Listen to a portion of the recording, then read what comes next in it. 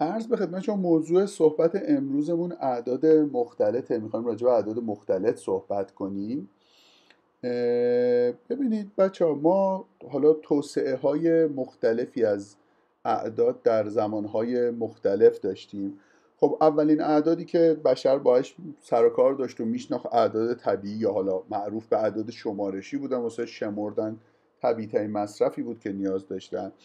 حالا به مرور زمان این ماجرا هی تغییر کردش و اتفاقی که افتاد این بود که خب مردم دنبال جوابهای مسئله مثل مثلا خب ما اگه دو تا عدد طبیعی داشته باشیم مثل m و n این معادله x علاوه n مساوی m لزوما جواب نداره. خب؟ در حقیقت یه شرطی داره تو اعداد طبیعی که بخواد این معادله جواب داشته باشه و اون شرط هم اینه که باید حتما m بزرگتر از n باشه. و اگه m کوچیکتر از n باشه تو اعداد طبیعی جواب نداره و خب و به دنبال جستجوی این یا در حقیقت به نوعی اون چیزی که ما بهش میگیم بستن مجموعه اعداد طبیعی نسبت به تفریق ما اعداد صحیح رو ساختیم. خب تو اعداد صحیح که نگاه می‌کنیم دیگه اتفاقی که میفته اینه که تو اعداد صحیح معادله x علاوه مساوی m به هر m و همیشه جواب داره و اوضاع خوب پیش میره. خب عرض به خدمت شما که ولی وقتی که مثلا ما در حقیقت باز دو تو اعداد صحیح هم اگه دو تا m و n صحیح بهمون بدن که حالا n هم ناصف باشه معادله nx مساوی m این لزوما جواب نداره. خب در حقیقت اتفاقی که میفته اینه که اگه من بخوام دنبال جوابای nx مساوی m بگردم به ازای ام و حالا اگه m بر n بخش پذیر باشه خب جواب صحیح داره ولی اگه نباشه لزوما جواب نداره و خب کامل کردن مجموعه اعداد صحیح نسبت به این عملیات در حقیقت ما رو به اعداد گویا میرسونه.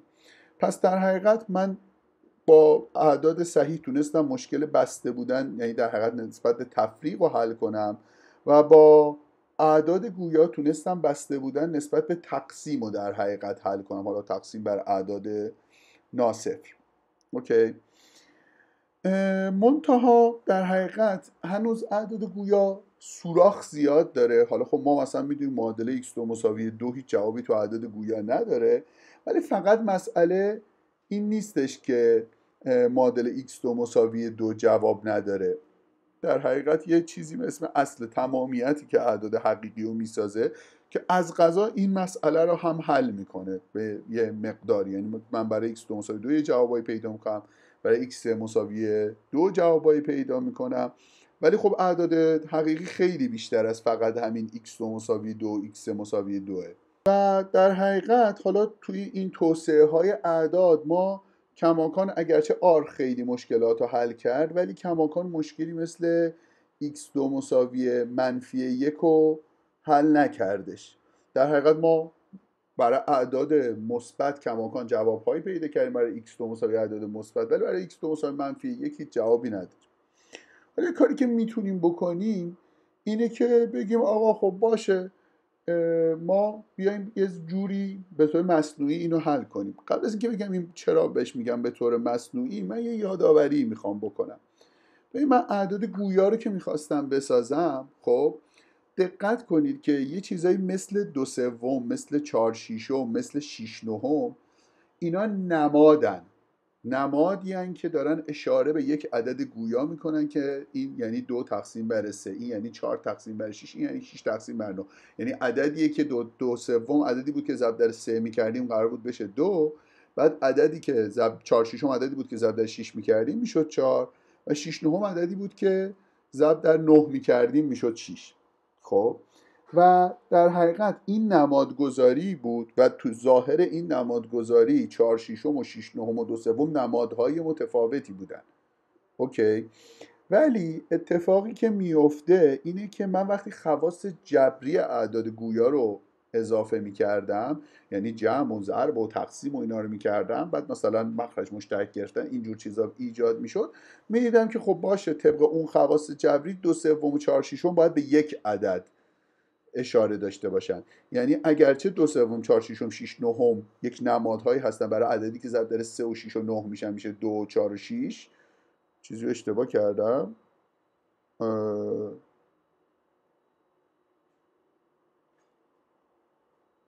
هم اشتباه کردم. دو سوم ضرب در دو چهار شیشم دو سوم ضرب در سه میشه شیش نهم دیگه مشکلش چیه؟ آها جمع اون پایین رو میگید. باشه بابا بذارید اول اون پایین رسیدن بعدا بگید خواهشن یه چیز من باشه اشتباهات رو متوجه میشم ولی بذارید برسم. هنوز راجبون جمع حرفی نزده بودم. بذارید سر موقع اشتباهات رو تذکر بدید. داشتم اینو می‌گفتم که این دو سوم و چهار شیشم و شیش نهم اگرچه نمادهای متفاوتی هستند دقت کنید این موضوع موضوع مهمیه. اینا نمادهای متفاوتن ولی به خاطر خواص جبری که داریم دارن به یه عدد نشون میدن. پس حالا ما می‌تونیم یه بار دیگه شانس خودمون رو امتحان کنیم و سعی کنیم نمادهایی رو به اعداد حقیقی اضافه بکنیم تا چیز بشه. و خب این که مثلا می‌گفتم چی مثلا ما خب باید سازگاری عملیات جبری داشته باشیم. در حقیقت این یه دوم بله یه سوم که میشه پنج شیشم این عملیات جبری بود که من توی اعداد گویا می‌تونستم تعریف کنم. و این سازگاری در حقیقت این عملیات جبری باید این خاصیت ها رو برای ما میداشتش خب پس نکته ای که وجود داره اینه که من این نمادگذاری رو به کمک عملیات جبری تونستم قنای بیشتری بهش بدم. راجبش بگم یه سری از این نمادا در حقیقت دارم به یه چیز اشاره می‌کنم خب داشتم عرض می‌کردم که خب ما بیایم یه نماد به این سیستم اضافه کنیم به اعداد حقیقی. یه علامتی می‌ذاریم به اسم آی. این صرفا یک نماده. خب که میگیم آی یه چیزیه که تواندوش میشه منفی یک. این چیز یه چیزیه دقیقا در مخصوصا اینجوری میگم که اصلا اصراری ندارم من که آی یه عدده. خب؟ آی فقط یه نمادگذاریه. می‌خوایم ببینیم یه نماد تواندو یه نماد یه چیزی که تواندوش میشه منفی یک رو اضافه کنیم به چیز چه اتفاقی میفته به عدد حقیقی. خب؟ و اگه بخوایم این نمادگذاریمون سازگار باشه با نمادگذاری هایی که قبلی که داشتیم خیلی طبیعیه که خب من بگم آقا رادیکال منفی یکم پس میشه i. خب؟ و خب چیزی که مطمئن هستم i یه عضو از R نیست. هیچ عدد حقیقی نیستش که بهش تو R باشه. خب؟ پس این در حقیقت انگار من i رو با رادیکال منفی یک در حقیقت این دوتا رو با هم نمایش میدم. و خب یه مجموعه جدیدی می‌سازم میگم آقا باشه من به R میام این نماد i هم اضافه می‌کنم که i یه چیزیه که توان دوش میشه منفی یک. اولین سوالی که ایجاد میشه اینه که خب باشه خیلی ممنون متشکر دستتون درد نکنه که توان دوی i شد منفی یک. ولی سوال اینه که چرا چیز عملیات جبریمون چه بلایی سرش میاد؟ خب R که فقط علامت که نبود توش ما جمع داشتیم ضرب داشتیم تفریق داشتیم اینا چی برای دوستی که پرسیدن چرا آی باید وجود خارجی داشته باشه اصلا من نگفتم وجود خارجی داره گفتم یه علامته یه به خاطر یه اسم گذاشتیم برای علامت اسمش گذاشتیم آی. خب من هیچ چیز عددی تاکید می‌کنم که من نگفتم این عدده خب فقط گفتم یه نماده. اینو اضافه کردم به اعداد حقیقی. یه نمادی که خودم تعریف کردم این تواندوش میشه منفی یک. و اینو می‌خوام به اعداد حقیقی اضافه کنم ببینم چه اتفاقی میفته خب در حقیقت سوالی که وجود داره خیلی راحت خب فرض کنم پس من به اعداد حقیقی علامت i اضافه کردم. پس الان من می‌خوام a به علاوه حالا a عدد حقیقی باشه a به علاوه i ببینم چه اتفاقی میفته. خب به راحتی میشه نشون داد که a به علاوه i نمی‌تونه خودش یه عدد حقیقی باشه. به خاطر اینکه اگه عدد حقیقی بود من ازش a رو کم می‌کردم اون وقت خود i عدد حقیقی میشه پس a به علاوه i عدد حقیقی نیست. اگر b م در حقیقت یه عدد ناصفر حقیقی باشه b ضرب در i م نمی‌تونه توی اعداد حقیقی باشه. به خاطر اینکه باشه باز دور من تقسیم بر b می‌کنم. میشه i میشه عدد حقیقی. پس نه a به علاوه i تو اعداد حقیقی نه b i ها تو اعداد حقیقی هن. برای اگه من این مجموعه که باش نماد i رو بهش اضافه کردم بخوام فقط نسبت به جمع و ضرب بسته باشه که دیگه هرچی مجموعه تو زندگیمون داشتیم این ویژگی رو داشت یعنی هم اعداد طبیعی نسبت به جمع و ضرب بسته بودن هم اعداد صحیح هم اعداد گویا. بنابراین برای اینکه من بخوام چیز کنم مجبورم یه سری نماد جدیدم به این مجموعه اضافه کنم. اعدادی به صورت a به علاوه i که a عدد حقیقیه و اعداد b ضرب در i که b عدد حقیقی مجبورم این نمادا رم به اعداد حقیقی و i اضافه کنم تا بتونم بگم که خب okay اینا الان نسبت به جمع و ضرب بسته است. اسم این مجموعه اول بذارم آ اسم این مجموعه دوم بذارم بی. حالا اگه آ بی دو تا عدد ناصفر باشن دو تا عدد حقیقی ناصفر باشن باز آ به علاوه بی آی هم نه توی آ نه توی بی متاسفانه. خب؟ در حقیقت آ به علاوه بی آی نه توی این مجموعه است نه توی این مجموعه و نه توی آر. خب پس به نظر میشه باز آ به علاوه بی آی ها رو من ندارم.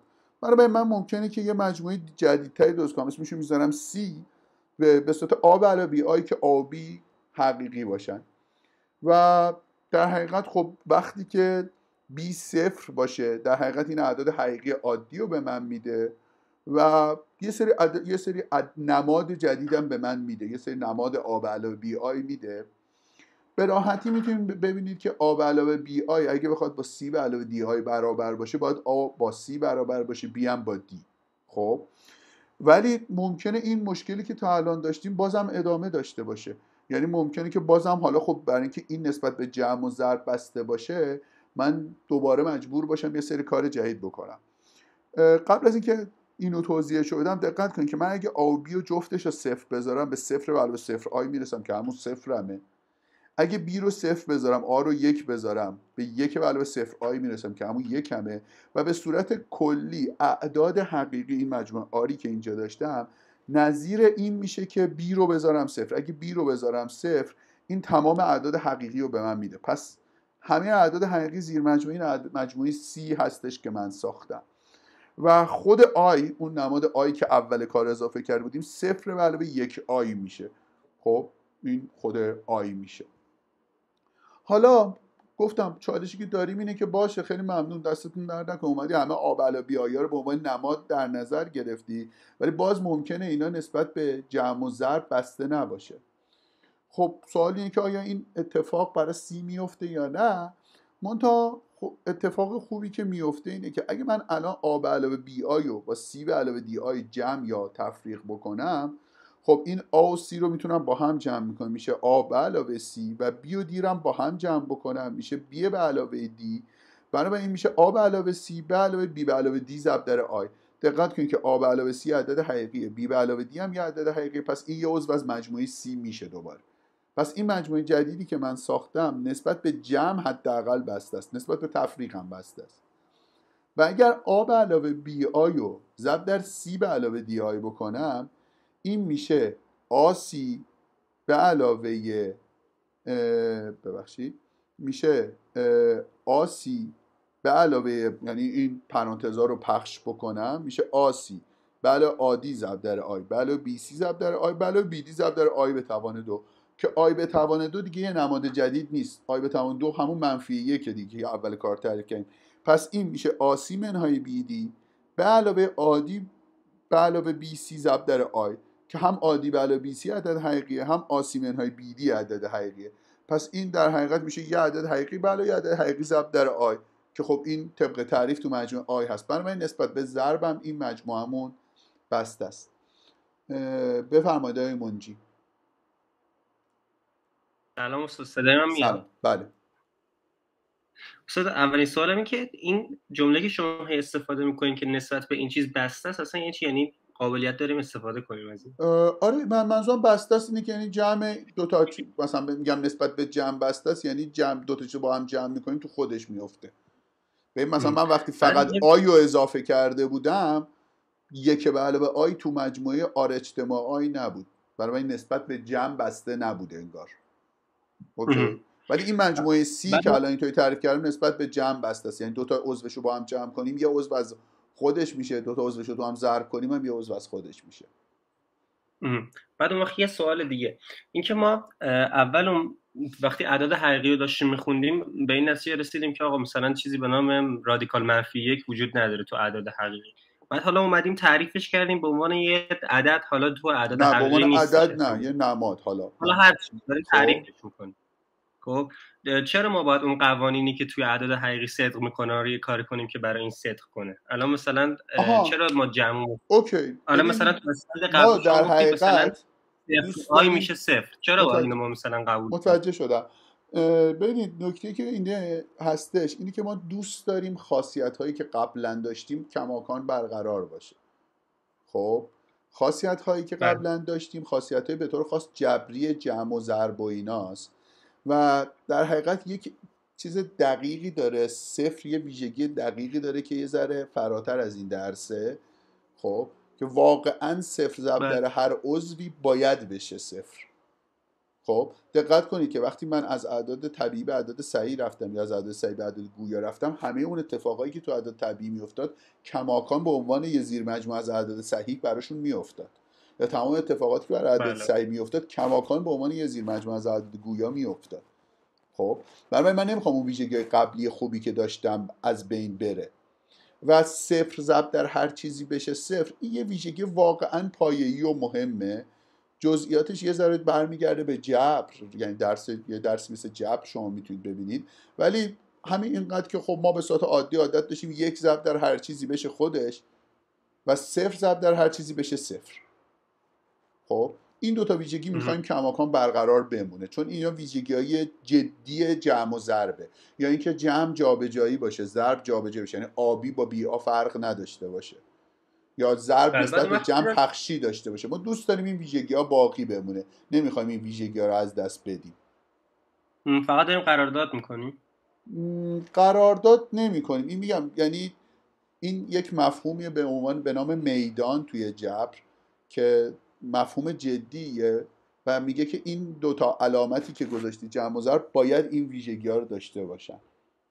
خب حالا مثلا شما گفتین صفر باید این ویژگی رو داشته باشه. حالا ما وقتی قبلا می‌گفتیم آقا اصلا یه همچین عددی وجود نداره خب. چرا حالا باید بیایم بگیم آقا یه اسمی براش بذاریم بعد مثلا حالا جمع براش تعریف کنیم؟ خب چرا اومدید دو سوم اضافه کردید به اعداد همچین عددی که وجود نداشت و زد و مگه نداشتید چرا دو سوم اضافه کردید بهش؟ خب باشه ولی یه چیزی ملموسه چیزی که ما مشاهده برای شما الان ملموسه. به این سادگی برای آدمای قدیمی برای آدمای قدیمی منفی یک هم که یه چیز ت... منفی یک چیه؟ شما برای من توضیح بدید منفی یک چیه؟ که ملموسه. تو دنیای خارج من کجا منفی یک دارم؟ بالاخره ما اگه یه خط اعداد در نظر بگیریم و یه مبدعی خط اعداد یه نمادگذاریه خب یه نمادگذاریه من الان می‌تونم یه نمادگذاری شبیه اونم برای اعداد مختلف تعریف کنم. به اتفاقا یه دوم از منفی یک خیلی چیز طبیعی تریه ها شما یه لیوان آب دارید. میریزید تو دو تا لیوان با اندازه برابر. هر کدوم اونا میشه نصف اون اولیه. خب من می‌تونم یه مفهوم خارجی یه دوم به شما بدم. ولی مفهوم خارجی منفی یک وجود نداره. فقط ما چون خیلی ازش استفاده کردیم برامون طبیعی شده. به عنوان میشه شهودش چه شهودی دارید از منفی یک جا بیرون منفی یک به نشون بدی ببینم. کجا منفی یک تو طبیعت تو دنیای واقعی نه دنیای اعداد که می‌تونی. خب تو دنیای اعداد من اینم شهود می‌کنم الان. حالا بذارید جلوتر میریم می‌بینیم. خب؟ باش ممنون پس در حقیقت حالا این مجموعه فعلا خدا رو شکر نسبت به جمع و ضرب اینا بسته است. حالا تقسیم هنوز یه محل سوالیه. برای اینکه ببینیم نسبت به تقسیم چه اتفاقی میفته در حقیقت می‌خوام یه سوال ساده تر شروع کنم. حالا نمی‌خواد هر عددی رو به هر عددی تقسیم کنم. در حقیقت سوال اصلی اینه که آیا من اگه آ به علاوه بی آی داشته باشم آیا سی و دی می‌تونم پیدا کنم که آ به علاوه بی آی ضرب در سی به علاوه دی آی بشه یک؟ اگه اینو بتونم تعریف کنم در حقیقت اون وقت یک تقسیم بر آ به علاوه بی آی دارم. اون وقت یک تقسیم بر آب علاوه بی آی ضرب در یه عدد دیگر هم می‌تونم تعریف کنم. چون ضرب دو تا عدد اسم اینا رو می‌ذاریم عدد مختلف بذارید من این اسم رو برای مجموعه بذارم. آره بذارید این اسمشو بذارم. بهش, بهش بگیم اعداد مختلف این یه اسمه. خیلی گیر ندید که این چرا عدد نیست و اینا. اسمش اعداد مختلفه مثل اسم من که امید میر صادقی اسم اینم اعداد مختلطه خب این امید میر صادقی بودن من لزوما ربطی به این نداره که امید یعنی مثلا امیدواری دارم و نمی‌دونم آرزو دارم و اینا. این امید یه اسمه برای من. حالا اسم ایشون هم گذاشتیم ما اعداد مختلط complex numbers میشه. ممنونی که از دوستانم گفتش. حالا سوالی که وجود داره اینه که فعلا آیا من اگه آ علاوه بی آی داشته باشم آیا یه سی و دی پیدا میشه که بتونم یک تقسیم بر آ به علاوه یعنی آ به علاوه ضرب سی بی آی بشه یک؟ برای اینکه جواب این سوال رو پیدا کنیم خب بیای من آ به علاوه بی آی ضرب سی علاوه دی آی رو باز کنم ببینم چی میشه. خب با استفاده از خواص ضربی که داشتیم آ به علاوه بی آی ضرب سی علاوه دی آی میشه آسی منهای بی دی به علاوه آدی به علاوه بی سی ضرب در آی. و این باید بشه یک. که یک هم خب در حقیقت یک به علاوه صفر آی دیگه. okay؟ بنابراین اگه بخواد این تساوی برقرار باشه آسی منهای دی باید بشه یک. آدی به علاوه بی سی هم باید بشه صفر. و دقت کنید که من آ و بی رو دارم دنبال یه سی و دی‌ام که این ویژگی داشته خب یه دو معادله دو مجهوله که ما خیلی راحت بلدیم حلش کنیم و در حقیقت به سادگی میشه دید که اگه من سی رو بذارم آ تقسیم بر آ بله بی دو. دیرم بذارم منهای بی تقسیم بر آ بله بی دو. این توی این ویژگی ها صدق می‌کنه و این در حقیقت این معادله جواب داره به شرطی که خب مخرج ناصف باشه. یعنی آ بله بی دو ناصف باشه که قاعدتا آ بله بی دو ناصف یعنی حداقل یکی از آبی ناصف باشن. و این معادل با اینه که در حقیقت صفر نباشه دیگه دقیقا. یعنی آبل بی های خود صفر نباشه. ما امیدوار نبودیم یک صفر رو ما بتونیم تعریف کنیم. خب؟ پس اگه دقیقا آبل بی های خود صفر نباشه من یه یک تقسیم بر آبل بی های هم دارم. و این یک تاست فقط یه عدد هستش که ضرب در آبل بی های بشه میشه یک. خب پس در حقیقت اتفاقی که میفته این خیلی راحت هم می‌تونیم خیلی قیافه مزدوج طوری داره. در حقیقت آبل بی های ضرب در آمن های بی آی این میشه آدو به علاوه بی دو. به علاوه بی های آبی ضرب در آی که میشه همون آدو علاوه بی دو. خب برای این تقسیم بر یه آدو به علاوه بی دو هم بکنیم میشه یک. okay. پس خدا رو شکر من یه یک تقسیم بر آ به علاوه بی آی هم پیدا کردم. با عنوان یه عضوی از این مجموعه سی. و بنابراین در حقیقت اگه من بخوام یه عددی رو به یه عدد دیگه تقسیم بکنم در حقیقت کافیه که اونو ضرب در یک تقسیم بر آبل بی آی بکنم و قبلا می‌دونستم نسبت به ضرب بسته است. بنابراین نسبت به تقسیمم این مجموعه سی بسته است. برای توضیح اسلاید قبل ببینیم بچه حالا اگه اون اثباتش بود ولی اثباتش هم اگه متوجه نشدید من اگه سی رو این بذارم دی رو این بذارم آ بی آی ضرب در آمن های بی آی میشه این. این با همون خاصیت ضرب می‌تونید چک کنید که اینطوری میشه دیگه.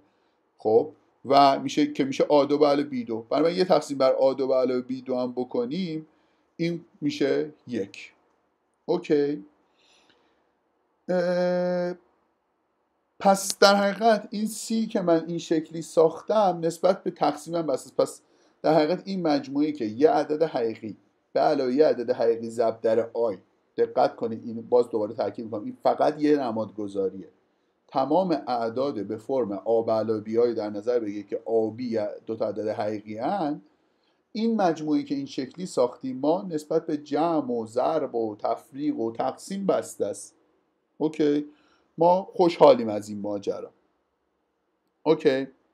ما یه مجموعه تعریف می‌کنیم به اسم مجموعه C بهش میگیم اعداد مختلط. این مجموعه تمام زوج تمام نمادهای به صورت x به علاوه وای آی هستن که x و y دو تا عدد حقیقی هستن. و x به علاوه وای آی رو من می‌تونم با z نمایشش بدم یا با z نمایشش بدم. خب؟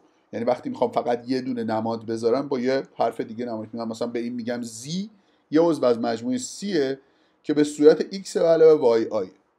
به x میگم قسمت حقیقی z به y هم میگم قسمت موهومی z و اینا رو با Re z و با Im z نمایشش میدم که این Re دو حرف اول real ه Im هم دو حرف اول imaginary ه خب به اینا میگیم imaginary و در حقیقت قسمت حقیقی و قسمت موهومی z خب این مجموعه که اینطوری ساختیم با به کمک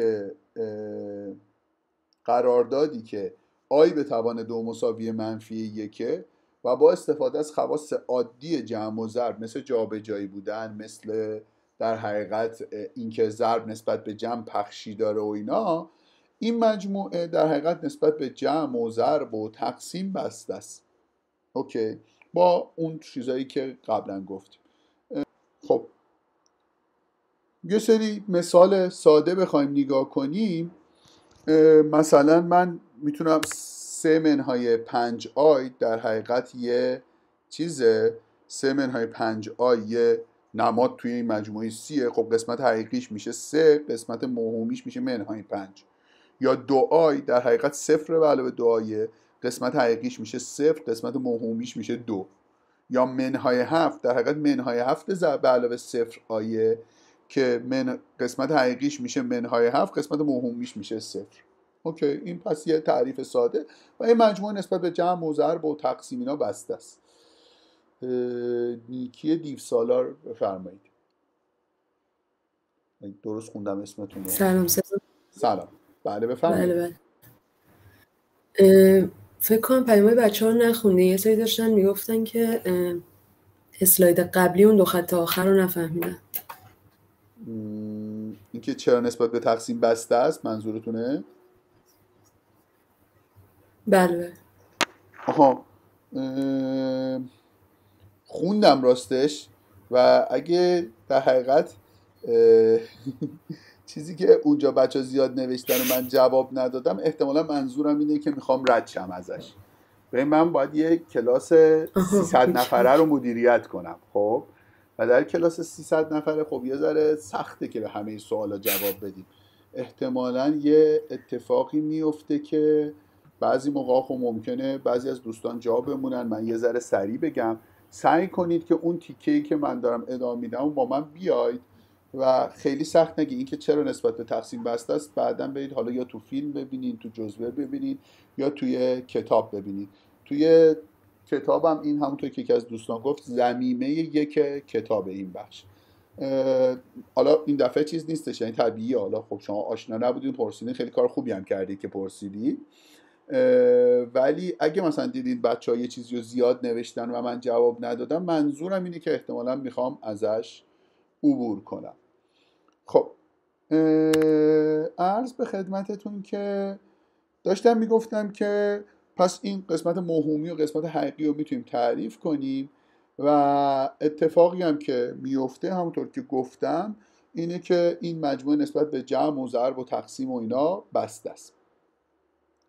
نکته که وجود داره اینه که مشابه اون چیزی که من یه نمایش هندسی واسه اعداد طبیعی حقیقی داشتم که رو اعداد رو خط می‌تونستم نمایشش بدم الان هر کدوم از این اعضای این مجموعه سی در حقیقت به صورت آ به علاوه بی آیه خب من این در حقیقت در یک تناظر یک به یک این مجموعه با آ و بی های حقیقی زوجهای مرتب آ بی که آ و بی حقیقی به هم بدیم من می‌تونم یه دونه عضو از این مجموعه بهتون بدم. بنابراین خب ما عادت داشتیم زوجهای اعداد حقیقی رو تو صفحه نشونش بدیم. در حقیقت من می‌تونم یه صفحه بکشم محور افقیشو بذارم برای اون قسمت بدون آی یا قسمت حقیقی محور عمودیشو بذارم واسه قسمت موهومی. و در حقیقت اتفاقی که میفته اینه که هر عددی هر عضوی از این مجموعه C به صورت یه نقطه از این صفحه میشه. مثلا نقطه یک به علاوه i یه نقطه میشه که x ش یکه y ش هم یکه چون یک به علاوه یعنی در حقیقت یک به علاوه یک ضرب در i.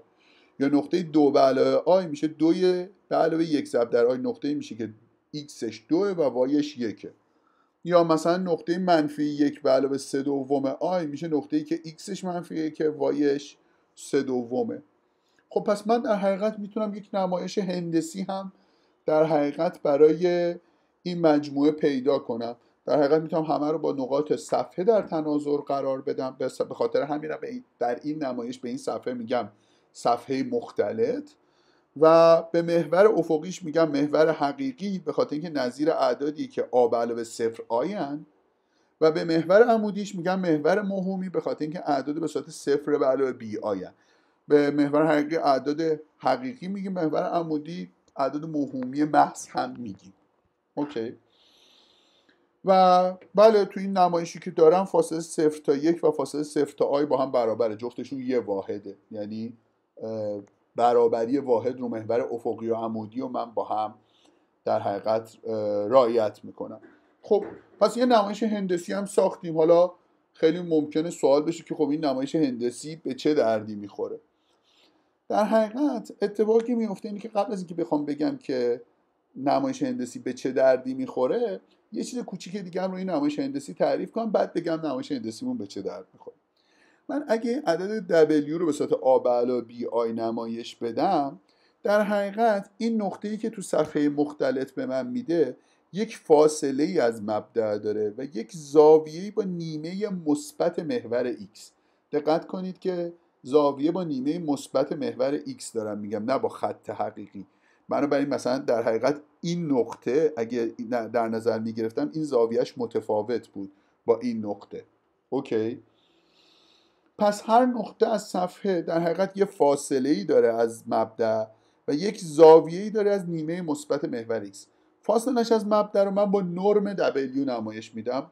به صورت یا همون چیزی که شبیه قدر مطلق W شما تو عدد حقیقی می‌گفتی که در حقیقت خیلی راحت می‌تونید به خاطر یه قضیه فیساغورس ساده ببینید که این هستش رادیکال آ دو علاوه بی دو این فاصله و این زاویه رو با آرگومان W نمایشش میدم دقت کنید که چه نرم چه آرگومان دو تا عدد حقیقی هن. خب و اگه شما به من یه عدد حقیقی مثبت و نرم همواره عدد حقیقی مثبت نامنفیه در حقیقت این نرم.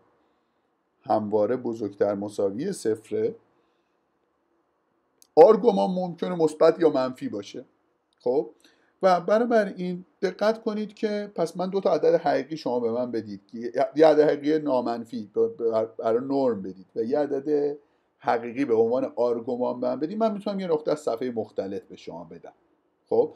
دقت کنید که نرم فاصله از مبدعه و فاصله همواره عدد حقیقی مثبته. این دارم میگم از این چند متر فاصله داره چند سان فاصله داره چند واحد فاصله داره در حقیقت. برای حتما یه عدد حقیقیه. آرگومان در حقیقت یه آره نرم در حقیقت فاصله حقیقیه. خب؟ و دقت کنید که آرگومان در حد جمع با مضارب صحیح دوپی در حقیقت یه چیزه. در حد جمع با مضارب صحیح دوپی یک تاست. یعنی اگه من آرگومانو چیز مثلا اینجا حالا فرض کنید آرگومان من پی دوم باشه پی چهارم باشه ببخشید فرض کنید پی چهارم باشه. اگه دو پی به علاوه پی چهارم در نظر بگیرم که در حقیقت میشه 9 پی چهارم باز اینم در حقیقت همین عدد نقطه رو به من میده. اگه دوباره یه دو پی دیگه هم باهاش جمع بکنم میشه 17 پی چهارم بازم همین میشه. okay. پس در حقیقت اتفاقی که میفته اینه که این زاویه یه عدد یکتا نیست چون زاویه دور تناوب داره خودش ولی نرم یه عدد یکتاه. و تنها نقطه ای هم که نرمش صفره مستقل از آرگومان اصلا آرگومان براش تعریف نمیشه خود مبدعه مبدع نرمش صفره و آرگومان هم براش تعریف نمیشه. حالا دوست آرگومان تعریف کنید دوست این تعریف نکنید. یعنی در حقیقت دوست هر آرگومانی بذارید براش چون نرمش صفره مبدع میشه. عرفان یاوری زاده بفرمایید.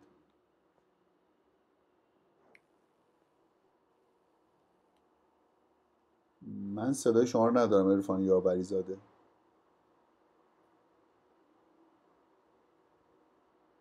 می‌خواین تا شما صداتون درست شه امین صادقی شما بفرمایید فعلا.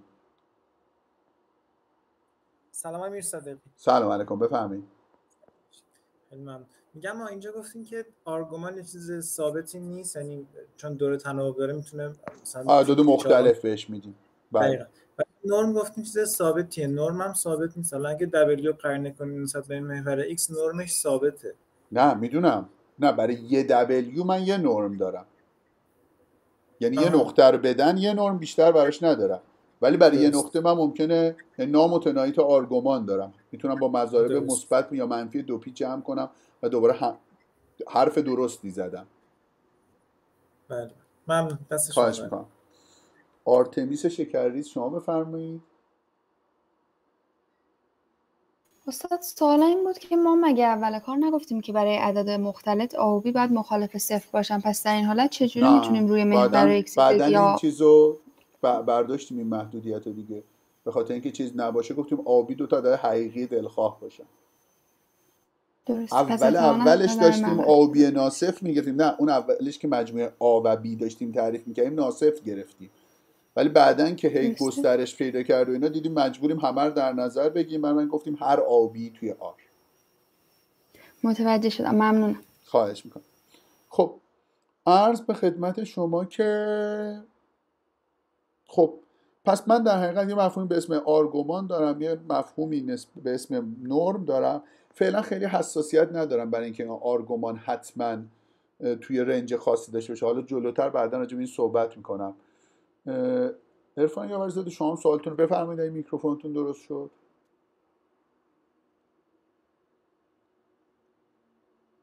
من کماکان چیزی نمیشنوم.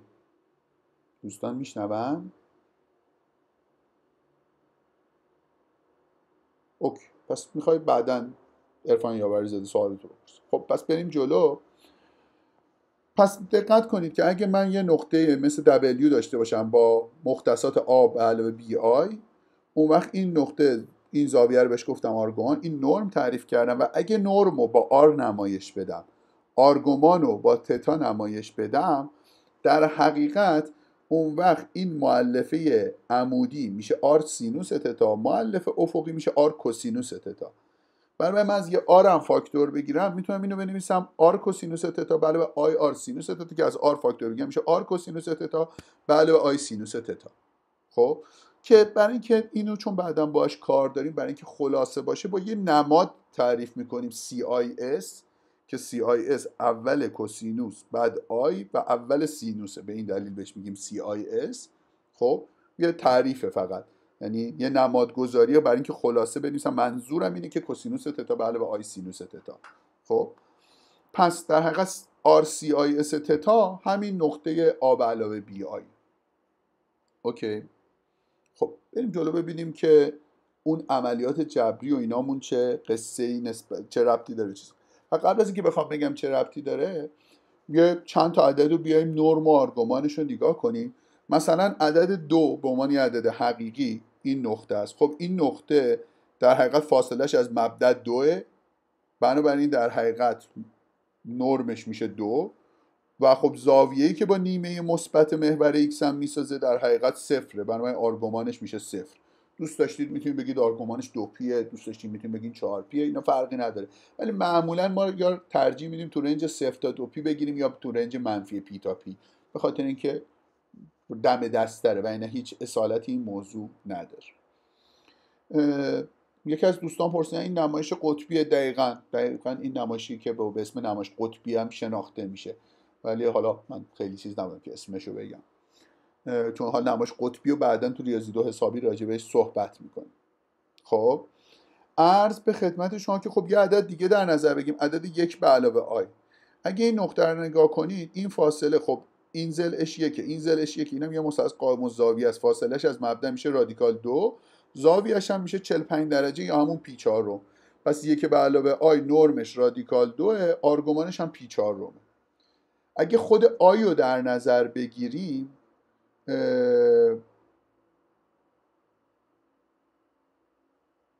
اگر i هم در نظر بگیریم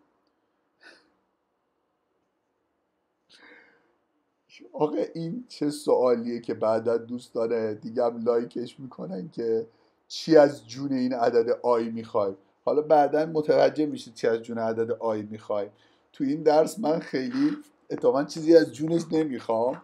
ولی بعدا توی درس ادامه درس هاتون و درس های دیگه که میگذرونید خیلی چیزا از جون آی خواهیم خواست و خیلی کارها برامون خواهد کرد. خب؟ نه یه لحظه آی سنگتر سب کنید سوال نپرسید. بعدا چیز کنید. عرض به خدمت شما که یا مثلا شما منهای دعایی رو در نظر بگیرید که میشه این نقطه خب این فاصلش دوه برای آرگومانش میشه دو و زاویهش با نیمه مثبت محور x در حقیقت میشه 270 درجه یا همون چیزی که به اسم در حقیقت سه پی چهارم می‌شناسیم. خب و بنابراین در حقیقت منهای دو i ببخشید سه پی دوم یا منهای پی دوم؟ در حقیقت منهای آرگومان منهای دو i میشه منفی پی دوم در حقیقت از این ور بیایم چون جهت منفی داره میچرخه میشه منفی پی دوم یا باز دوباره مثلا منفی رادیکال 3 به علاوه i و می‌تونیم ببینیم که این زاویه میشه 5 پی شیشو و فاصلش هم میشه از مبدأ دو. و حالا یه مثال دیگه مثلا این منهای یک منهای دو i و بزنیم آرگومانش میشه منفی 5 تانژانت منفی یک دو و نرمش میشه رادیکال 5 OK خب. یه چیز کوچیک دیگه هم تعریف کنم که به کارمون میاد و بعدش بریم سراغ اینکه در حقیقت این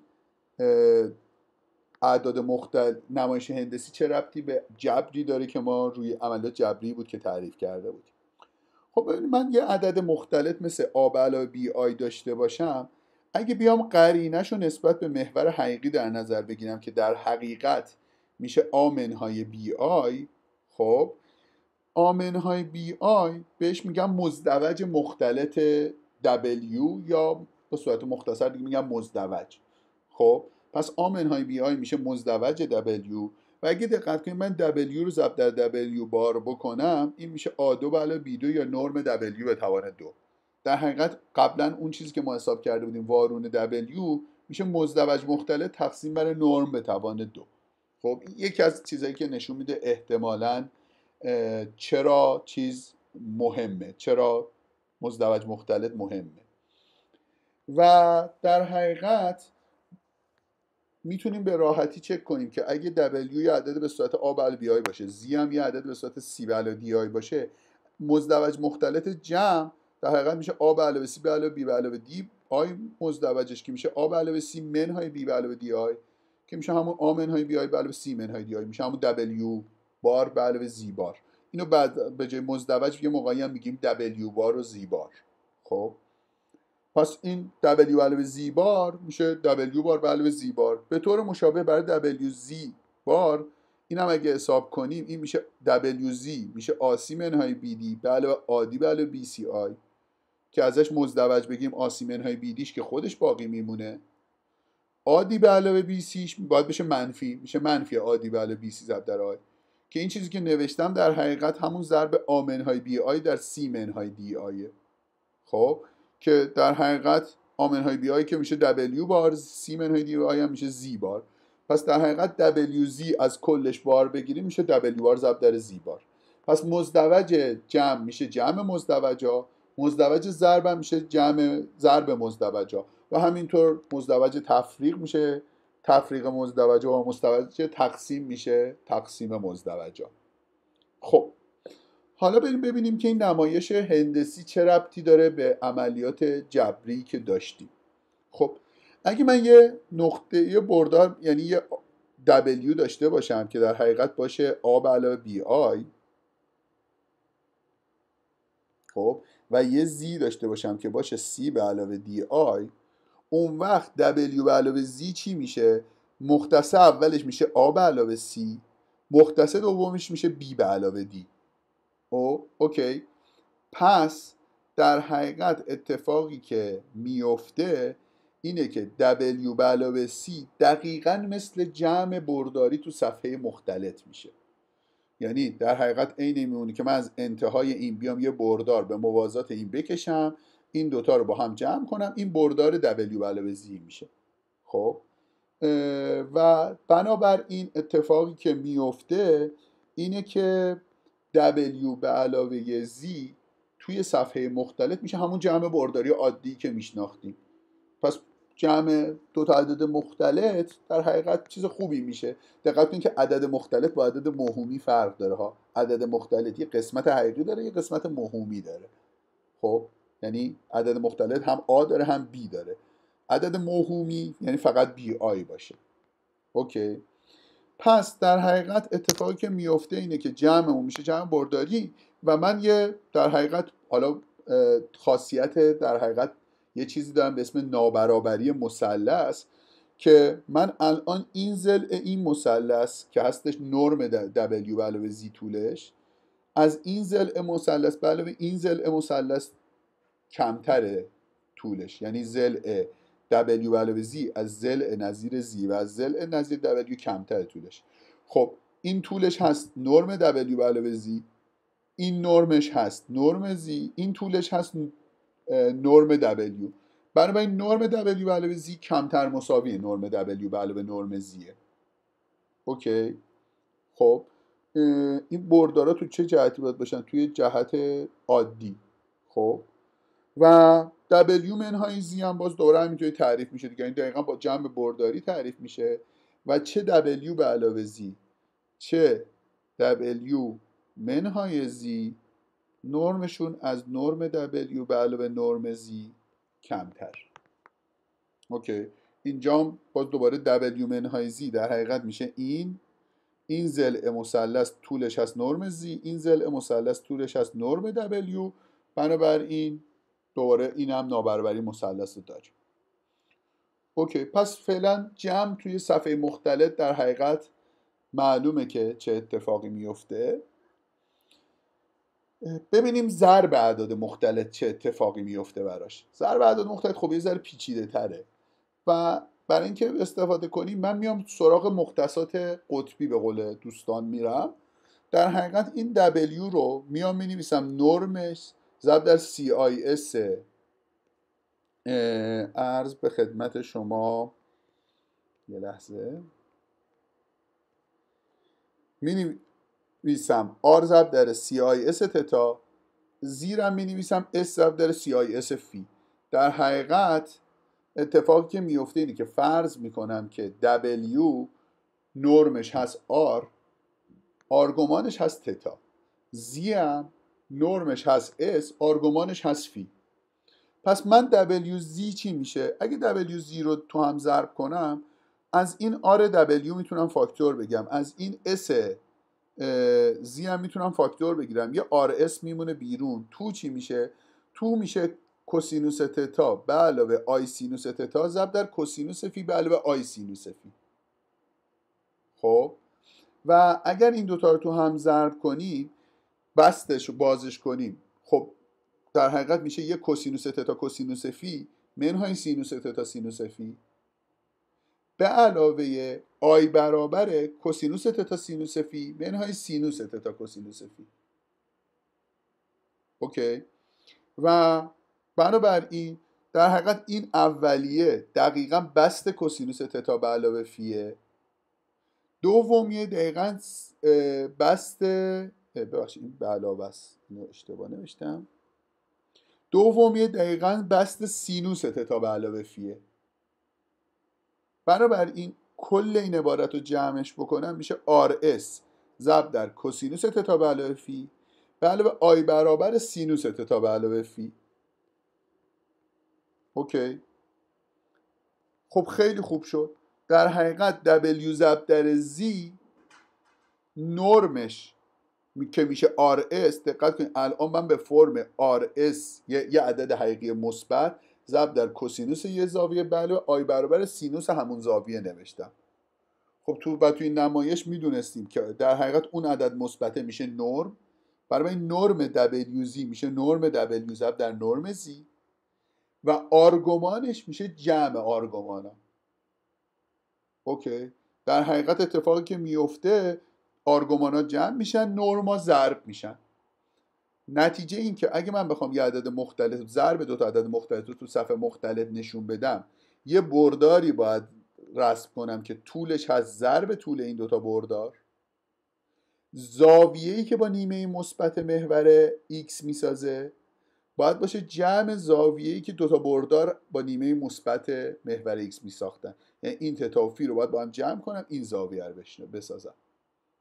خب خیلی بامزه شد. این خاصیت بامزه الان هم می‌بینیم که چه تبعات عجیب غریبی پیدا می‌کنه.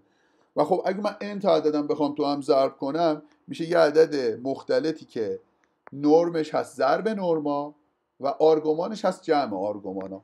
خب حالا سوالا زیاد شد. امین صادقی بفرمایید. آی صادقی اسلاید قبلی هم میشه بیاریم بله. طول می‌کشه تا برای شما بیاد ولی من آوردم. اینجا تهش به این نتیجه رسیدیم که نرم دبل آمد. دبلیو زی مساوی میشه با نرم دبلیو زد در نرم زی. بله. مگه نرم دبلیو و نرم زی آر و اس نیست؟ بله دیگه خب اینم نرمش شد. آر ضرب در اس دیگه. پس نرم دبلیو زی الان رسیدیم به آها. آره دیگه من به این نتیجه که WZ نرمش RS دیگه. بله. درست. ممنون. ببخشید. خواهش می‌کنم. من خواهش می‌کنم. امین صادقی بفرمایید. فکر کنم مسئله امین صادقی حل شد. پس بذارید نفر بعدی. آرش جدید شما بفرمایید. سلام استاد. سلام. استاد این جمع چجوری رفت توی سینوس و کوسینوس من اینو متوجه نشدم. ببین نه بسط دادم. این کوسینوس تتا سین i سینوس تتا رو ضرب در کوسینوس فی. بر به i سینوس فی کردم. یه کوسینوس تتا ضرب در کوسینوس فی میده که میشه این جمله اول. خب؟ یه من یه i به توان دو سینوس تتا سینوس فی میده که میشه منهای سینوس تتا سینوس فی. به علاوه i برابر سینوس تتا کوسینوس فی. به علاوه کوسینوس تتا سینوس فی که خب میشه کوسینوس این چیزی که جمله دومه. بعد خب دیگه حالا این بسط کوسینوس تتا به علاوه فی اینم بسط سینوس تتا به علاوه فی. یعنی استاد این R کوسینوس تتا الان نماینده X یعنی روی محور X شه آره اینجوریه یا نه؟ آره آره عدده. نه نه آره دیگه کوسینوس تتا که عدد حقیقی آر هم که عدد حقیقی ضرب دو تا عدد حقیقی دیگه. دقیقا به جای آ نشسته دیگه اینجا. بعد استاد بچه ها میگه اگه ممکنه این فایل جلسه رو آپلود کنید که بتونیم برداریم خب در طول کلاس خواهشن از این به بعد دوستان در مورد آپلود فایل آپلود فیلم قرار دادن محل فایل قرار دادن محل فیلم خواهشن هیچ صحبتی نکنن. دستت در نکنه. به قول این کلیپ های چیز. مرسی اه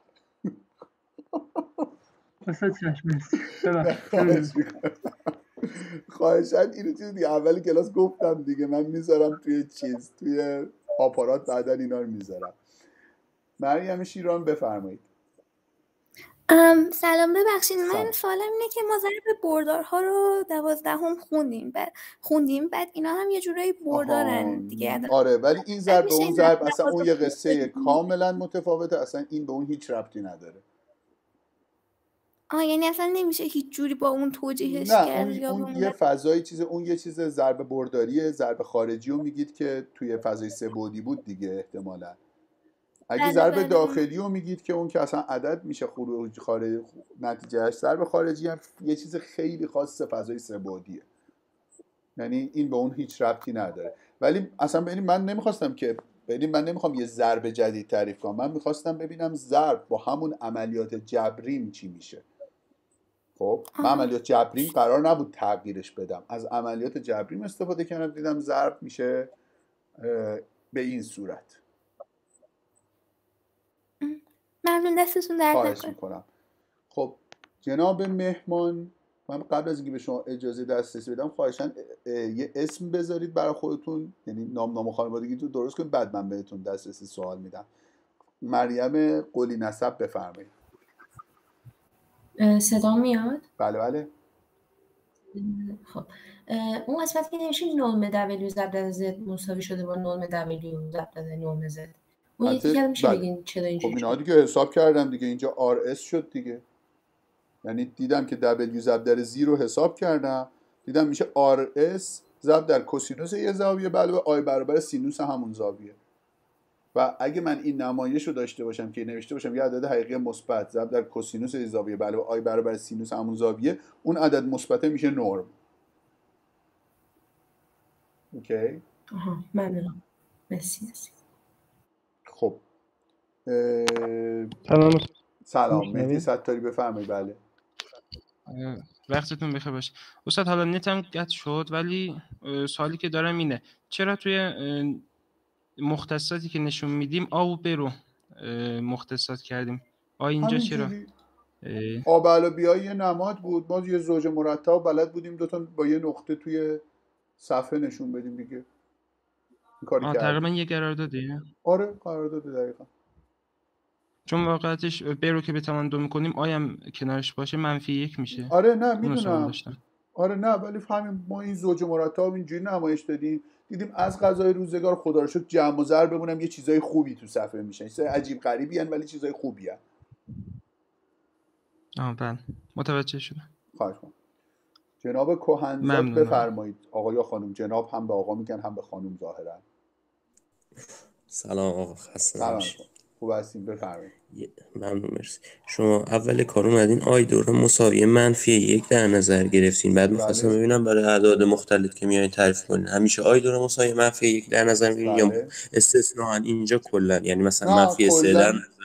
نه نه. آی یه نمادیه برای یه چیزی که تواندوش بهش میشه منفی خیلی هم نماد بین المللیه همه دنیا من آی دو رو می‌ذارم منفی بعد مثلا میشه اومد این منفی یک آورد نزدیک صفر حدی من صفر حدی منفی, منفی که بشه منفی یک صفر صفره. هیچ ربطی به هم ندارن. دو تا عدد متفاوتن و دست که یه محور بهش داد.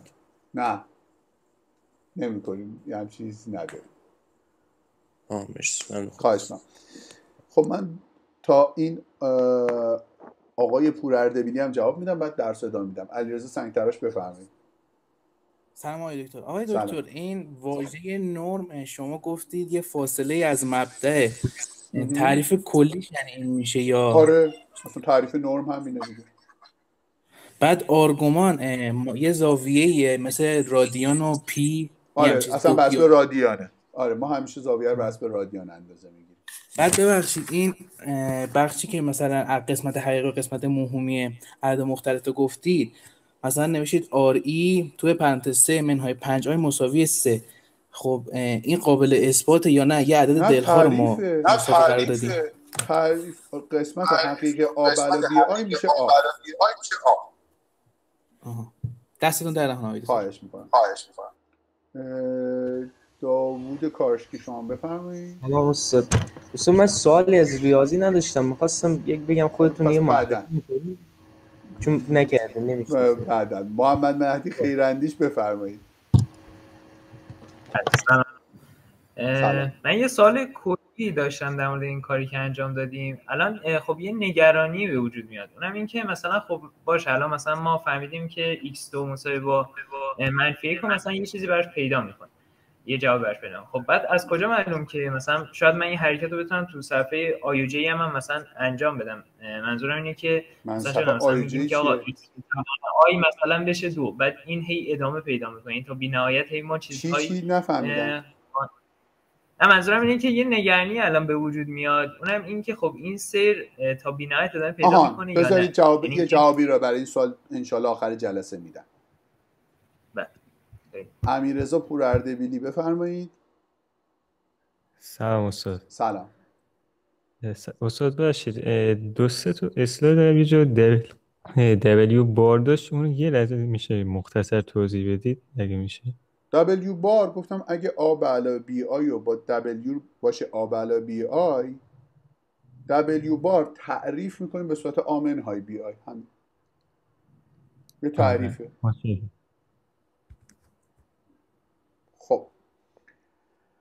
دیگه سوال باقیش باشه. بعدا ادامه میدم. خب پس در حقیقت دیدیم این ضرب اعداد مختلط هم خدا رو شکر تو صفحه مختلط قیافه قشنگی پیدا می‌کنه. در حقیقت باید چیز کنیم؟ نرما رو ضرب کنیم آرگومان ها رو جمع. خب خدا رو شکر. نتیجه چیه؟ نتیجه اینه که خب مثلا من دبلیو ضرب در یک دبلیو می‌دونستم یک دیگه. خب بنابراین نرم دبلیو ضرب در نرم یک دبلیو باید باشه نرم یک خب نرم یک هم یکه. فاصله یک از مبدا یکه. و من یک دبلیو در حقیقت نرمش هست یک تقسیم بر نرم دبلیو okay. و آرگومان یک دبلیو هست منفی آرگومان دبلیو به خاطر اینکه جمع آرگوماناشون هم باید بشه آرگومان یک که آرگومان یک صفره. خب اگه یادتون باشه همین گفته بودم دیگه که خب در حقیقت یک دبلیو هست W بار تقسیم بر نرم W به توان دو.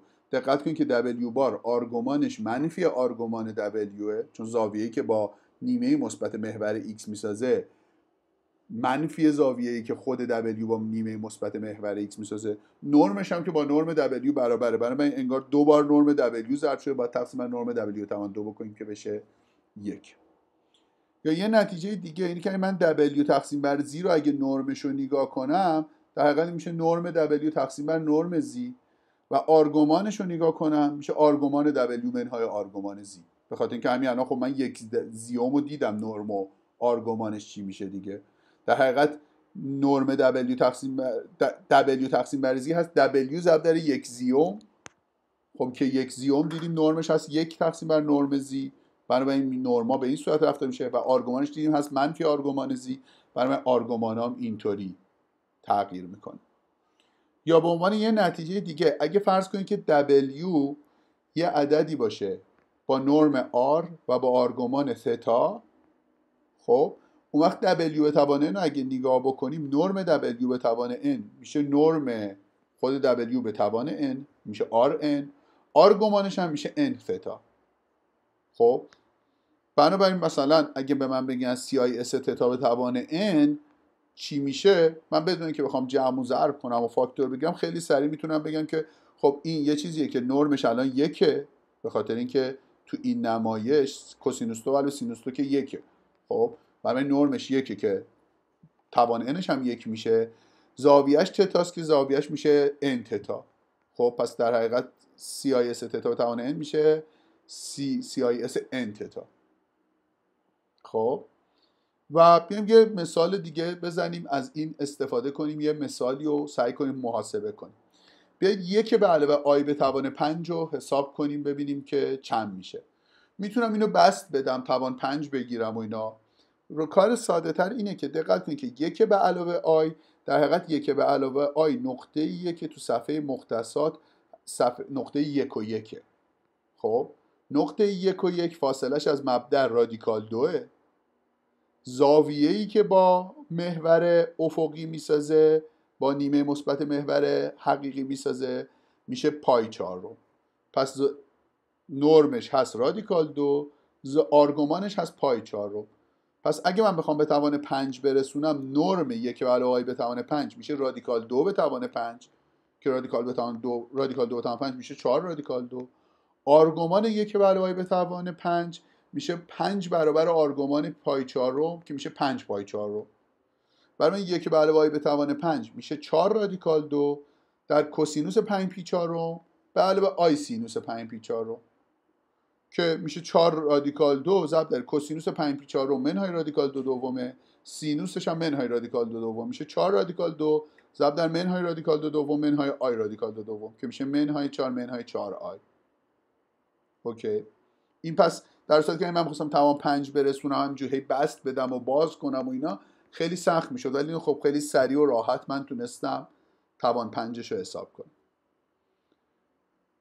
یا یه مثال دیگه. بریم من خود عدد آی یعنی صفر به علاوه یک آی خب آرگومان صفر به علاوه یک آی هست پی دوم. در حقیقت نقطه آی رو اگه در نظر بگیرید این زاویه‌ای که با محور افق نیمه مثبت محور x می‌سازه هست در حقیقت پی دوم میگم اون زاویه 90 درجه می‌سازه دیگه آی. Okay؟ نرمش هم که یکه. یعنی آرگومانش پی دومه نرمش هم یکه. بنابراین اگه آی توی عددی مثل W ضرب بشه آی دبلیو نرمش مثل نرم دبلیو آرگومانش میشه آرگومان دبلیو به علاوه پی دوم. بنابراین آی دبلیو عین این میمونه که بردار دبلیو رو حول مبدا من بیام پی دوم. دوران بدم یا 90 درجه دوران بدم. اوکی. و به خاطر همین این ویژگی هاست که در حقیقت اتفاقی که میفته اینه که چیزه اتفاقی که میفته اینه که تو محاسبات هندسی خیلی اعداد مختلف مفید میشن.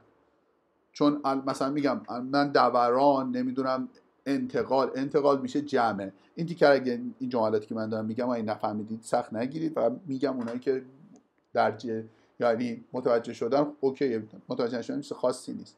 در حقیقت انتقال تو صفحه میشه جمع با یه عدد مختلف.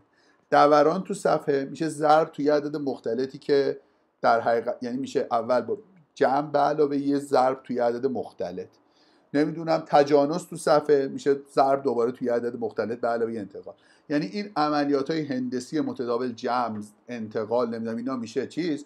قرینه چیز میشه قرینه محوری در حقیقت میشه بار گرفتن. خب؟ و یه انتقال. خلاصه می‌خوام بگم که خیلی از عملیات های هندسی با عملیات که ما نسبت به اعداد مختلف تعریف کنیم خوش تعریف میشه. نتیجهش اینه که خیلی تو محاسبات هندسی اعداد مختلف می‌تونه مفید باشه. این تیکر نگرفتید خیلی مهم است سخت نگیرید. خب. یکی از دوستان نکته خیلی خوبی گفت. گفت خب باشه دستت درد نکنه. بزنین آیا ارشیان موینی سوالش رو بپرسه. بفرمایید.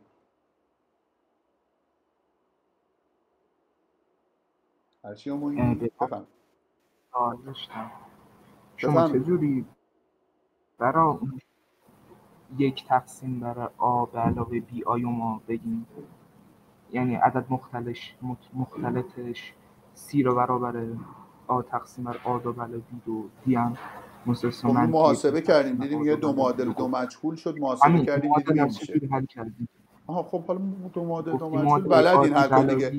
به این چک کنین که. این چیزی که نوشتم می‌دونم برید بعدا چک کنین این چیزی که نوشتم. می‌دونم چک کردم. درست میگم. خب حالا دو معادل دو مجهول دیگه ان از دبیرستان باید بلد باشید حل کنید یعنی دیگه من الان تو کلاس نمی‌خوام وقت نو مدل رو بلد نیستم نه نه یه دو مدل دو مجهول عادیه. یه ما دو مدل دو مجهول خطیه اینو آه. بلدید. یه لحظه بعدا به آبی رو دارید سی و دیو می‌خواین پیدا کنید. یه دو مدل دو مجهول خطی عادیه هیچ چیز عجیب غریبی بله. نیستش. سید محمد مهدی احمدی بفرمایید. من خودم. سلام استاد ببخشید. سلام. همین اسلایدی که الان هستید این بخش زد به توان n شده w رو یه بار دیگه میگید. من هنوز چی نگفتم راجع به این اسلاید. بگم نه. چون انقدر گیر کرده نه نه. بذار نه نه. الان میگم. ببینید دوستان حالا این مسئله که الان برای خانم آقای معینی پیش اومد ممکنه برای بعضی از شماها پیش بیاد. یه جا من این چیزی رو میگم سریع رد میشم و حالا ممکنه که برای هر کسی هیچ ربطی هم به تواناییاش نداره.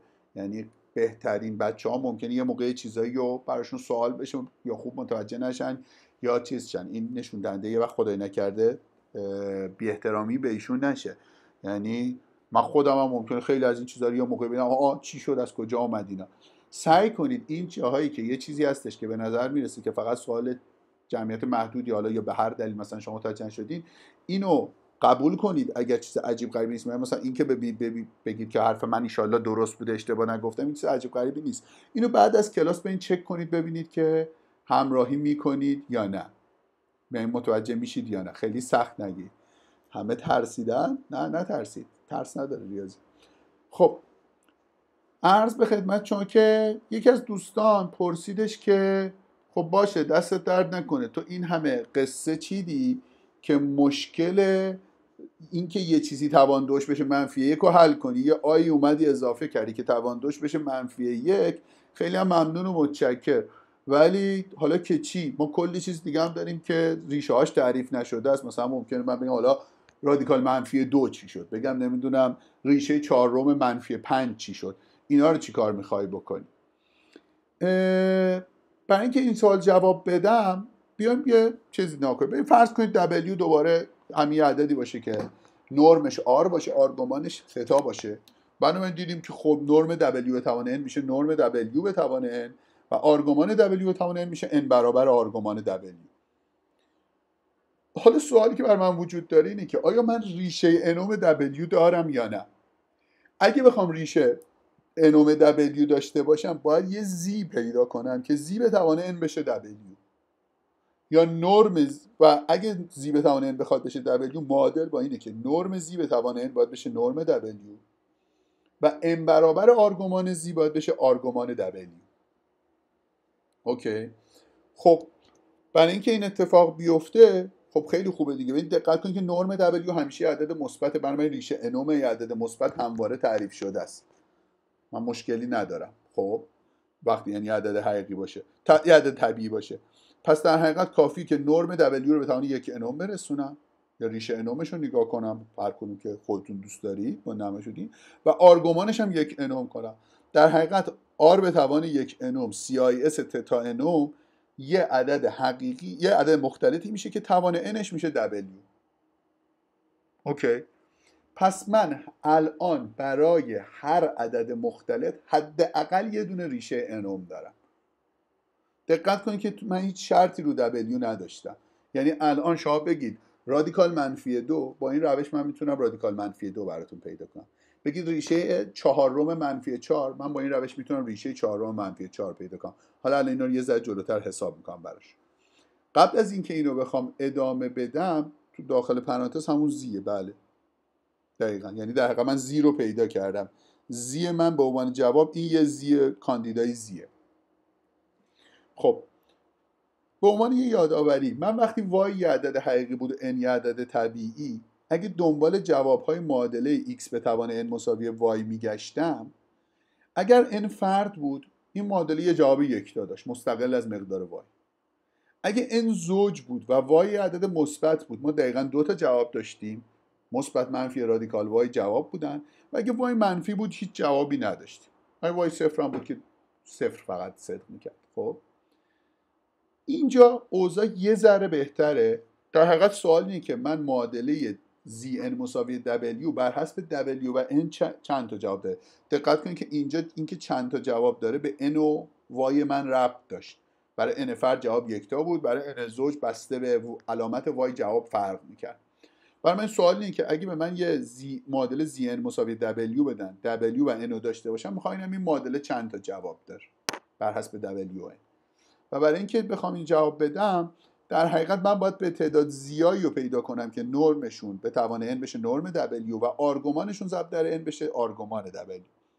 خب تنها عدد حقیقی مثبتی که توان انومش میشه دبل نرم W دقت کنید که نرم همیشه باید یه عدد حقیقی مثبت باشه. و خب تنها جوابی که این داره مستقل از مقدار در حقیقت n این یه جواب یکتا داره. من هر W و هر عدد حقیقی مثبت به من بدید و هر عدد طبیعی n بدید یه عدد یکتای مثبتی وجود داره یه عدد یکتای نامنفی در حقیقت که به توان میشه اون. پس این که یکتاست هیچ. در مورد نرم من هیچ option ی ندارم. یه دونه جواب بیشتر ندارم. ولی n برابر آرگومان z باید بشه آرگومان W. و دقت کنید اگه من یه زی جواب باشه یه دو پی ان‌ام بهش اضافه کنم وقتی ضرب در n می‌کنم اون دو پی ان‌ام ضرب در n میشه. میشه دو پی انگار دوباره میشه همون آرگومان زی برای من با به اندازه یه دو پینوم جمع کردن هیچ تغییری ایجاد نمی‌کنه. در حقیقت اگه آرگومان W تقسیم بر n بگیریم هر مضرب صحیح دو پی انومو بهش اضافه کنیم بازم این جواب این ماده است. دقت کن اینو من ضرب در n بکنم حاصل ماجرا میشه یه دو کاپی که تو آرگومان هیچ تأثیری نداره به خاطر اینکه زاویه دور تناوب دو پی داشت. پس به ازای دقت کنید که البته این کار رو اگه من به جای صفر مثلا کارو بذارید صفر یه بارم کارو بذارید n. خب صفر بذارید این میشه صفر. کارو بذارید n این میشه دو پی که دوباره همین نقطه قبلی رو بهمون میده. برای من تنها مقدارهای متمایزی که میده به ما ازای صفر یک دو تا n منهای یک. کار رو بذارید صفر یک تا n منهای یک. N تا آرگومان مختلف میده که از اولین آرگومان به اندازه یه دو پینوم بعد به اندازه دو تا دو پینوم بعد به اندازه سه تا دو پینوم بعد به اندازه چهار تا دو پینوم تا نهایتا به اندازه n منهای یکی دو پینوم میچرخه. بنابراین این تیکه از معادله تیکه آرگومانه دقیقا n تا جواب داره. این تیکه نرم دقیقا یه جواب داره. برای من تعداد جوابای این معادله دقیقا میشه n تا. یعنی معادله n مساوی w به شرط اینکه w ناصفر باشه دقیقا n تا جواب متمایز داره. اوکی؟ دقت کنید اگه w مساوی صفر باشه چون نرم صفر میشه یه جواب بیشتر نداره. خب؟ ولی اگه W ناصفر باشه نرمش یه جواب یک داره. آرگومانش دقیقا n تا جواب متفاوت داره. بچه ها می‌پرسن چرا تا خود n نرفت؟ خود n مثل صفره.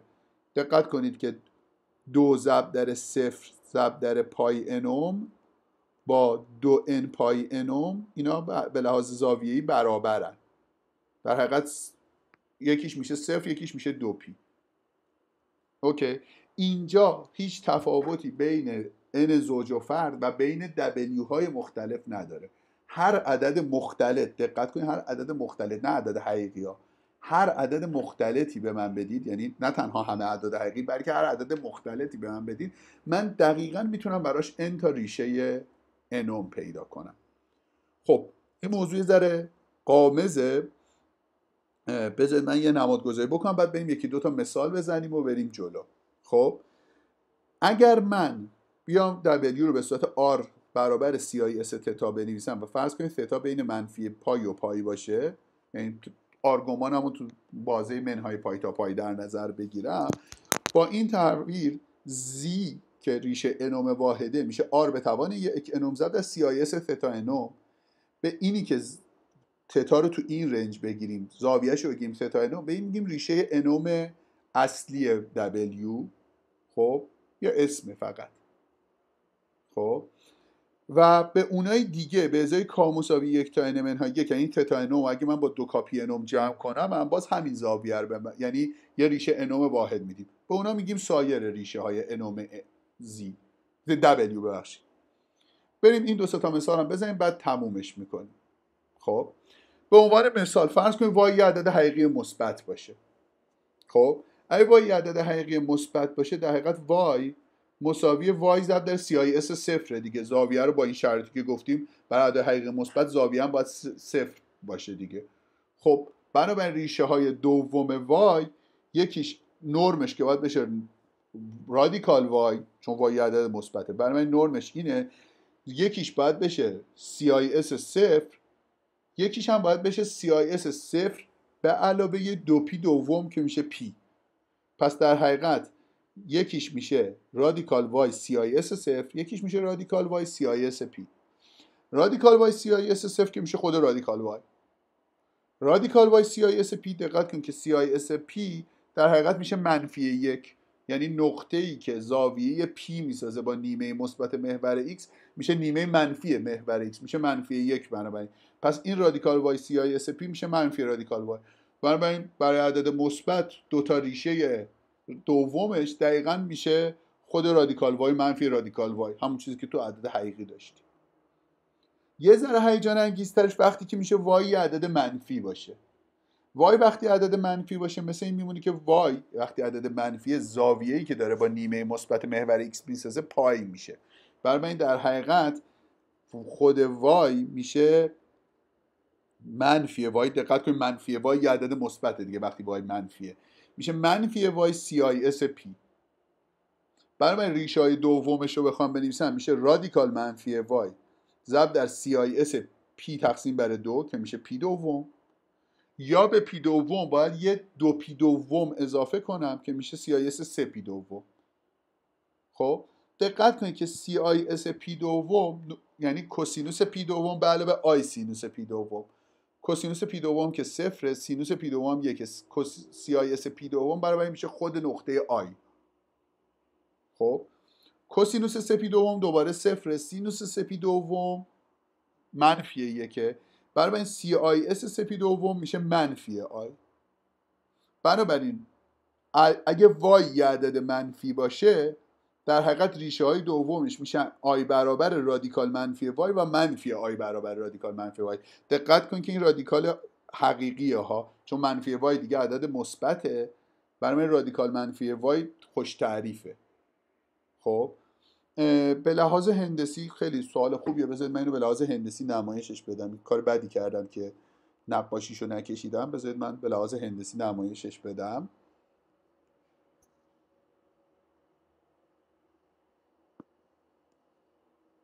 خب.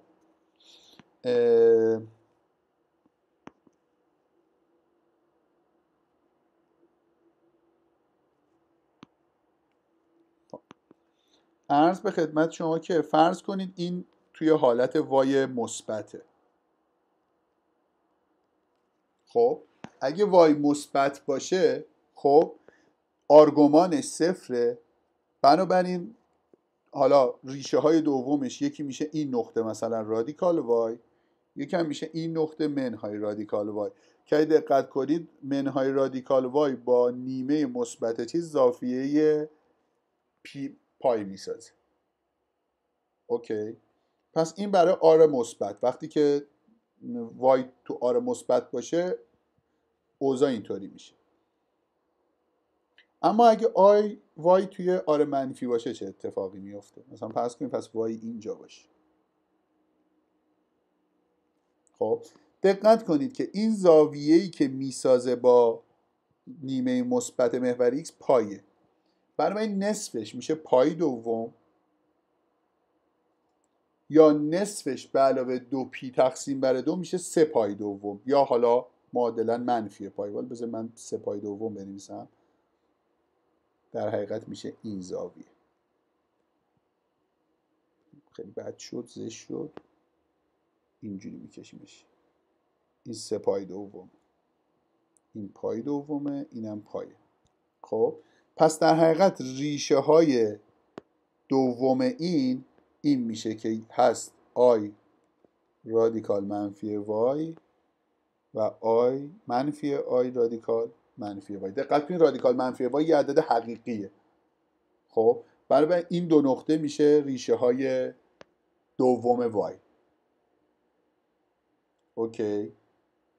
خب پس من در حقیقت برای اعداد حقیقی منفی هم الان دیگه برای همشون من ریشه دارم. یعنی اینطوری نیست که رادیکال منفی دو من لازم باشه یه علامت جدید اضافه کنم برش برای رادیکال منفی سه یه علامت جدید به اضافه کنم. با همین آیی که اضافه کردم همه رادیکال های منفی هم تعریف شدن خب؟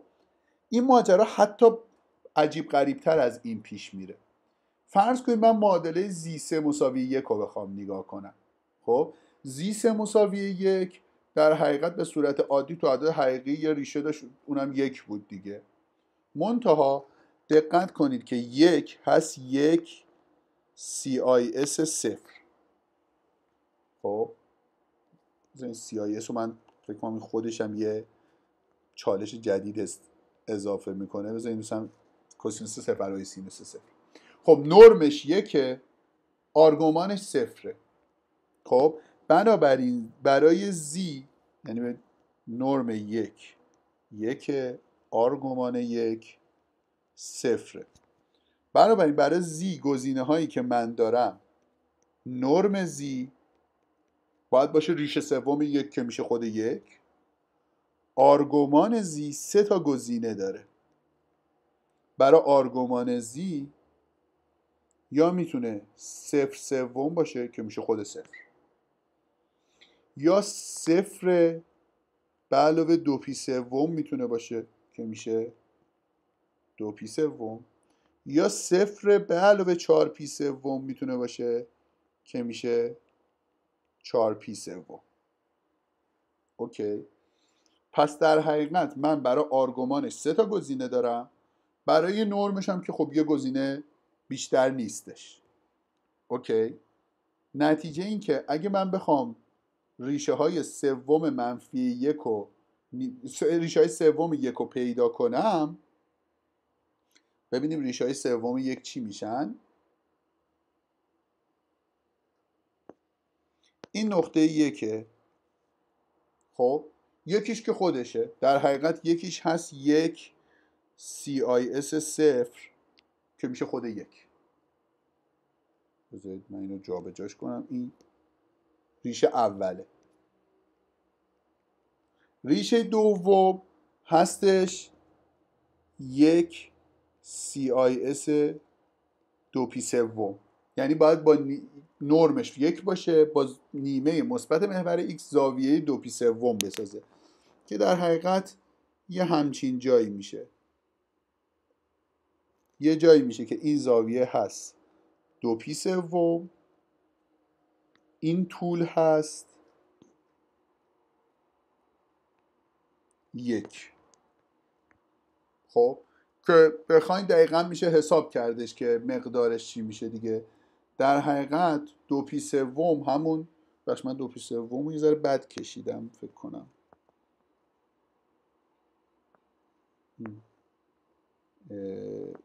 دو پی سوم درستتر مثلا یه همچین قیافه ای میشه. خب. که در حقیقت این قسمت چیزش کوسینوس دو پی سوم هست منفی یک دوم. این نقطه هست منفی یک دوم. سینوسش هم که هستش رادیکال سه دوم. خب. پس این یک CIS دو پی سوم و اگر که یک CIS چهار پی سوم هم بخوایم نگاه کنیم میشه یه همچین نقطه ای که باز اینجا منفی رادیکال سه دوم چون سینوسش منفی میشه کوسینوسش هم منفی یه دوم میشه. در حقیقت این زاویه هست منفی دو, دو پی سوم یا چهار پی سوم. اوکی. پس اتفاقی که افتاد خیلی جذاب شد. من برای یک دقیقا سه تا ریشه واحد متمایز سه تا ریشه متمایز پیدا کردم. یکیش خود یکه که تو عدد حقیقی بود. یکیش یه جای عجیب غریبیه در حقیقت هستش. یه دومه. منفی یه دوم. به علاوه i رادیکال سه دوم.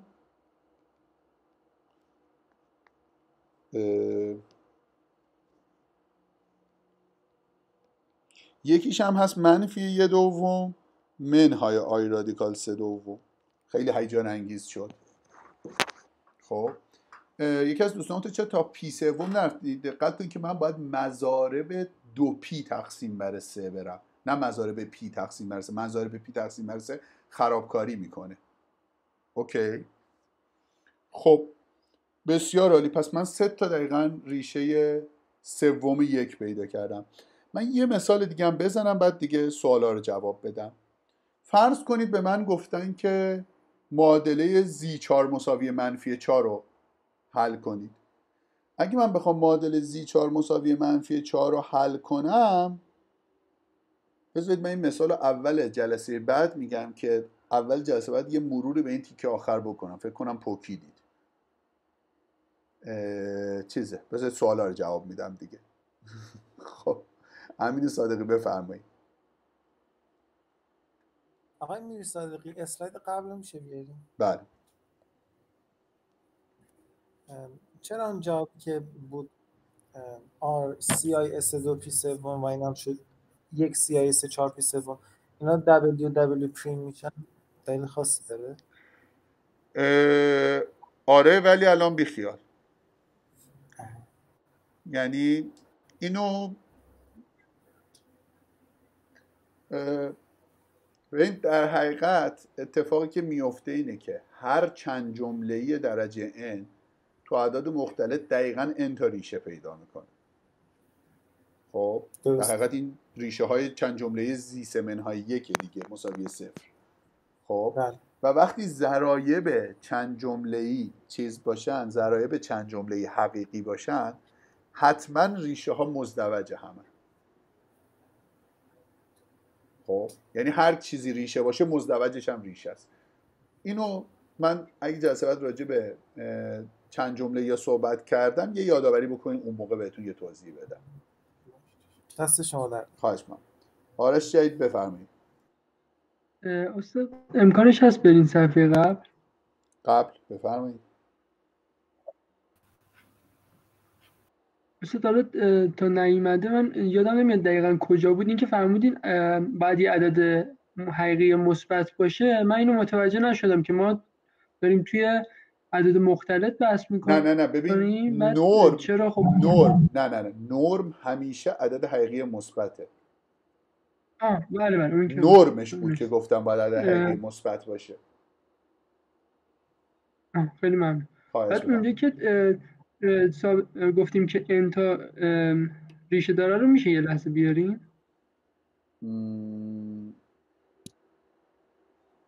بفرمایید یه لحظه الان بیاد آره داره طول می‌کشه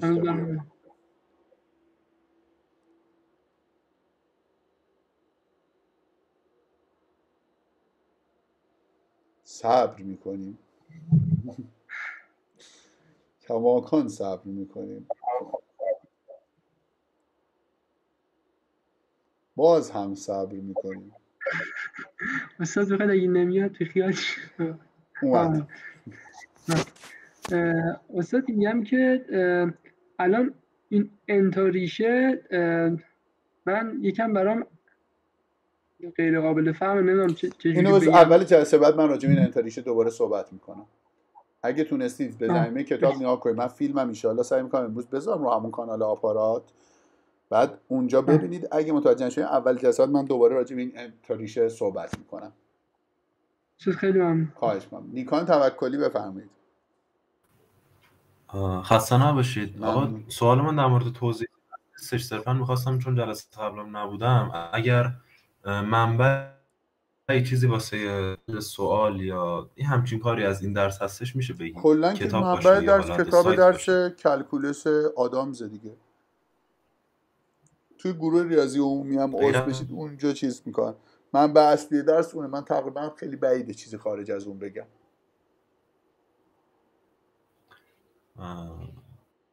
خیلی خواهش ما امید عظیمی پور بفرمایید. سلام استاد خسته نباشید. سلام. استاد بخشید نشانی و آدرس کانال آفاراتتون رو می‌تونید یه بار دیگه بذاری من اونو نتونستم پیدا کنم. گشتم توی چت بودم ممنون از دوستی که گذاشتن. من سنجاقش می‌کنم. ممنون مهدی زینتی بفرمایید. روزتون بخیر. سلام ممنون.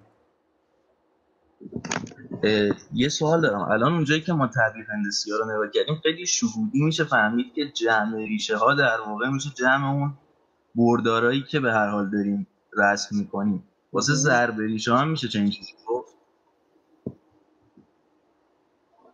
توجه نشدم. یعنی ضرب همه ریشه ها تو هم؟ آره دیگه همونی که مثلا نمی‌دونم اتحاد تا مثلا ها رو ضرایب در خب همون اون اون روابط همه برقراره. درست. ولی الان من توضیح نمیدم به خاطر اینکه بچه ها فکر می‌کنم ذهنشون علکی درگیر میشه. اون اتحادا همه برقراره. آه مرسی من خواهش محمد مهدی خیراندیش بفرمایید. نه الان می‌خواستم بگم که اون نگرانی که اول بود خب یه مقدارش رفت شد ولی میگم هنوز مثلا سوال اصلیم اینه که ما مثلا توی زد توی مجموعه بخش توی مجموعه آری که داشتیم نمی‌شد اینو تضمین کرد که من اگه معادله با همون اعضای مجموعه زد بسازم جواب قطعا تو معادل تو مجموعه هست. مثلا x2 مساوی با منفی. دیدیم که مثلا با بله. مجموعه که تو آر هست مدل ساختیم و جوابش این تو نبود می‌خواستم ببینم که الان یه مجموعه رو گسترش دادیم. اعداد مختلف داریم. می‌خوام ببینم که مثلا بازم این تضمین وجود داره که من هر معادله مثلا با اعداد مختلف بسازم مثلا این چیزی که همین الان به ذهنم می‌رسه x به توان i مثلا بشه دو. چه خب هر معادله نه. نه نه برای هر معادله نه. ولی به طور خاص برای همه چند جمله ها بله تضمین میشه. یکی از خواص شگفت آور این اعداد مختلف اینه که همه چند جمله یا توی آر ریشه به تعداد درجهشون دقیقا ریشه دارن و اصلا معروف به اسم قضیه اساسی جبر. خیلی ویژگی عجیب غریب و بامزه ایه که ما ثابتش قطعا نمی‌کنیم تو این درس ولی درسته. درست. خیلی متشکرم خواهش می‌کنم. مکرمی پارسا بفرمایید اگه درست خوندم.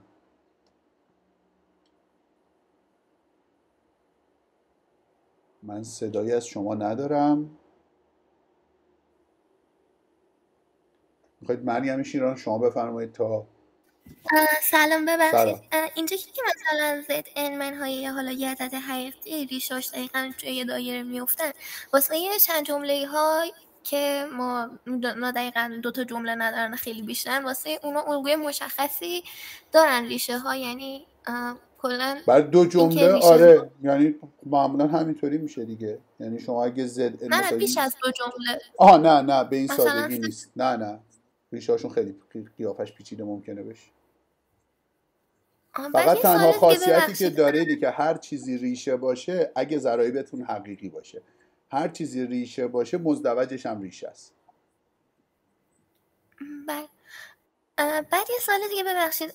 جلسه پیش هنوز سایت برای ما کار نمی‌کرد. بعد شما جلسه پیش حالا علاوه بر کتاب که معرفی کردین جزوه رو هم دیدین دیدیم آیا چیز دیگه ای هست بخوایم بدونیم نه فقط همون چیزو همون توز فایل توضیحات درس که توی فایل های کلاس هست می‌تونید برش دارید آهان چشم. و قسمتی از خود کتاب رو به جز عدد مختلط باید مطالعه کنیم. فعلا یه قسمت, قسمت پیش نیازها رو در حقیقت خوبه که مطالعهش کنیم من یه مقدارش رو گفتم یه مقدارش هم گفتم قاعدتا فرض میشه اونا تو دبیرستان بلدید. تو کلاس پشتیبان هم احتمالا یه مقدار راجبش صحبت کردم ولی خب خوب اون تیکر رو بخونید. تا وقت داریم. آها دستش زرد نکنه. خیلی لطف کردی. خواهش با. خب عرفان یاوری زاده امیدوارم که مشکل میکروفونت حل شده باشه.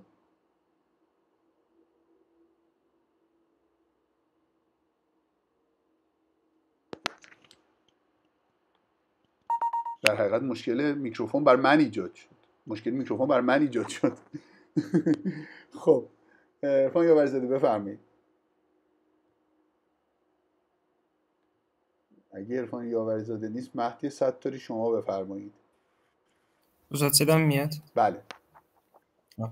استاد در مورد زد به توان سه مساویه حالا یک ریشه هاش که می‌گفتیم کلا ما می‌دونیم که از دبیرستان یه ریشه داریم ولی اینجا حالا با آرگومان های متفاوت سه تا ریشه پیدا کردیم. یکم برام ملموس نیست. خب نه اصلا ملموسی نیست حق داری که برات ملموس نیست. تو موضوع ملموسی نیست. یه چیز در موضوع شوکه کننده یه در برخورد اول. یعنی حق داری. چون الان مثلا برای درجه هایی که چند تا ضریب دارن اینم خب دیگه نه این موضوع موضوع چیزیه. اصلا محسوسی نیست به قول معروف. ملموس یا محسوسی نیست. حق داری. یعنی فقط باید کار کنی ببینی اینطور هست. تموم شد رفت. یعنی می‌بینی که این نمادگذاری که ما تعریف کردیم از غذای روزگی روزگار این ویژگی های خوب داره. یعنی واقعیتش اینه که اعداد مختلط صادقانه بخوام بگم مثلا تو این چیزی که من تو ریاضی خوندم تا الان کلا یکی از شعبده بازی های ریاضی به نظر می‌رسه. مثلا تو فضای اعداد مختلط. حالا بعدا اگه ببینید تو مثلا در بعضیاتون تو درسی مثل ریاضی مهندسی می‌بینید یا درسی مثل تاب مختلط بگذرونید اصلا زندگی در اعداد مختلط یک چیزای زیبای عجیب غریبی داره که اصلا آدم نمی‌فهمه چرا همه چی باید انقدر خوب باشه. یعنی از اعداد حقیقی خیلی یه چیزایی بهتره که اصلا آدم باورش نمیشه که این نمادگذاریه که خیلی مسخره به نظر می اومد. ما یه آی اومدیم اضافه کردیم. اصلا یه ویژگی خیلی عجیب غریب عالی داره. یعنی حالا میگم بعضیش تو ریاضی مهندسی می‌بینید احتمالا بعضی که درس تربیت مهندسی چیزه تواب مختلف بگذرونید می‌بینید. خلاصه عجیب غریبی این قصه تواب مختلف اعداد مختلف مثلا من بعد از کلاس آخرین سوالی که جواب دادم فایل رو آپلود می‌کنم تو همین جا می‌ذارم. ولی حالا محمد علی خنجری بفرمایید. خواهش من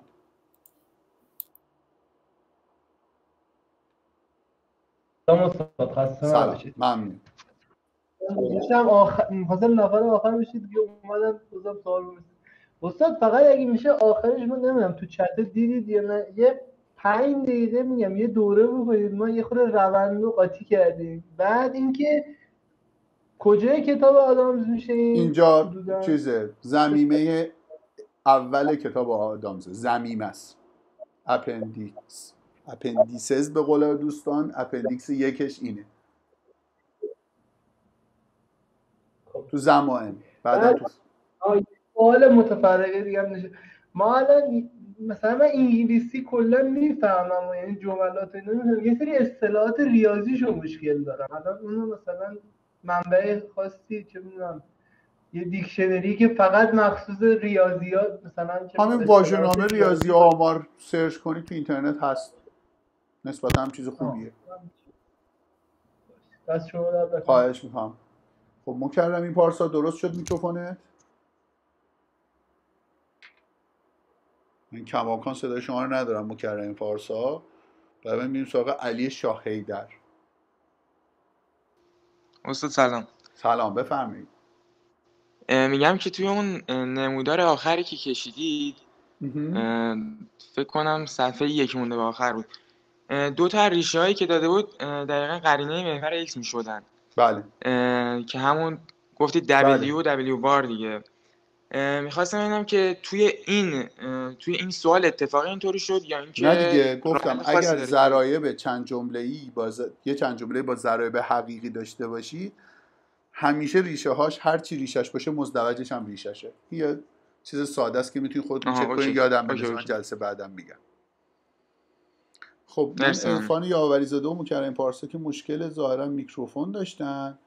آرتمیس شکریز به عنوان آخرین سوال من جواب میدم. بفرمایید امین سراحتی هم بعدش جواب اگه واقعا آخریش. بودید که تو طول سوال تو طول کلاس در مورد جزونا سوال نپرسین. الان میشه بپرسن بفرمایید. کلاس چند ساعت دیگه ویدیوش رو می‌ذارید رو آپارات؟ من راستش بذارم کانورت چه حدود مثلا یه ساعت یه ساعت و نیم طول می‌کشه تا کانورت چه؟ اگه من بدو همین الان این کارو بکنم بعدش مثلا احتمالا هم فکر کنم ساعت دوازده و نیم حدود دو نیم سه ایشالله میزم رو آپارات. آها ممنونم مرسی. بعد جزوه هم موقع برای دانلود همون جزوه همین الان کلاس تموم شه همینجا توی CW توی کلاس هم آپلود می‌کنم. ولی اون موقع اونجا لینکش رو اونجا که فیلمو گذاشتم لینکش هم می‌ذارم. ممنونم مرسی. خواهش می‌کنم. وقت شما امین سراحتی بفرمایید. سلام. این من فقط یه سوال داشتم. این دبلیو رو وقتی که می‌خواستیم باز کنیم می نوشیم r کوسینوس آلفا به اضافه i r سینوس آلفا. این i باز واسه چه اینجا می آوردیم i هست r که خب... نرمش بود خب r کوسینوس نه خب می‌دونم. ببین وقتی که به صورت a به علاوه b i می نویسیم یه عدد حقیقی به علاوه یه عدد حقیقی ضرب در i باید بنویسیم.